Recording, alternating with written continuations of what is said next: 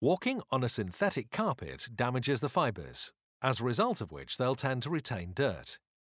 HG Carpet and Upholstery Cleaner removes dirt and fills the uneven fibre surface with a dirt-resistant layer.